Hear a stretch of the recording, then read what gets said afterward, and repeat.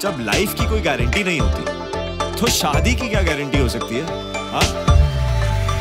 रिश्तों की गारंटी नहीं होती। उन्हें बनाना पड़ता है निभाना पड़ता है। रिश्ते गारंटी पर नहीं विश्वास पर चलते हैं।